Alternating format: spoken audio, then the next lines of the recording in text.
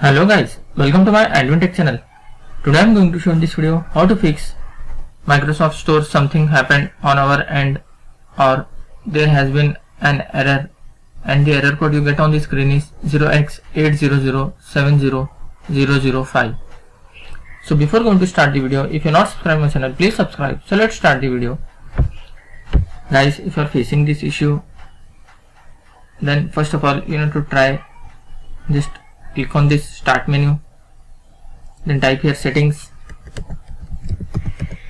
Click on settings. Click on apps section. You can see here apps and features. Click on this. Here you will find all your installed apps. In this you need to find Microsoft Store. You can see here Microsoft Store just click on this three dot click on advanced option.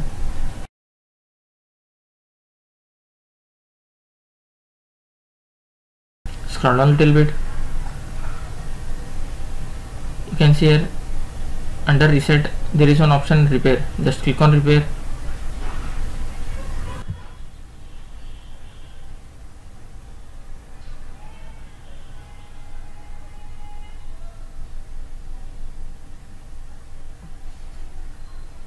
After completion of this repair, just close this window and press Windows plus R key.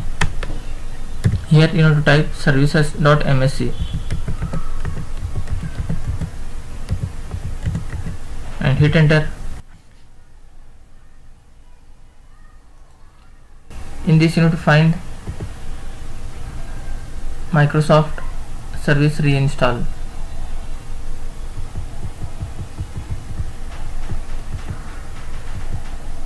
You can share Microsoft Store install service just double click on that.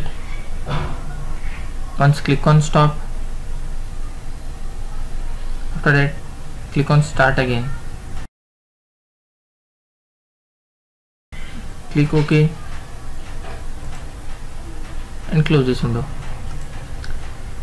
After doing this once you need to restart your laptop or desktop after restarting your laptop laptop or desktop hope your problem will be fixed.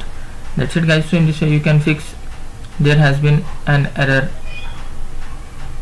And the error code you get on the screen is 0x800700005 thanks for watching. Hope if you like this video please like share and don't forget to subscribe